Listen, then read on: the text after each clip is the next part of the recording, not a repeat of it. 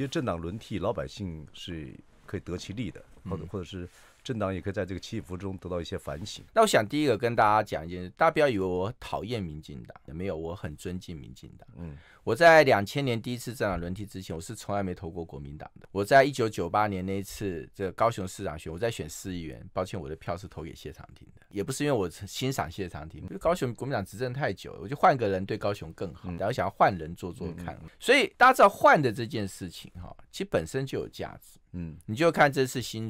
你这是桃园，因为你查把黑箱打开，现在这个人他就要想啊，我如果下来的时候，下一个如果又换了，会不会来查我？所以他就会谨慎。绝对权力使人绝对的腐，不是说今天民进党这样，抱歉国民党一样。国民党之所以后来这两千年被轮替掉，是因为他执政太久了。政党是人组成，人就脱离不了人性，所以轮替这件事情本身它就是一个非常重要的价值啊。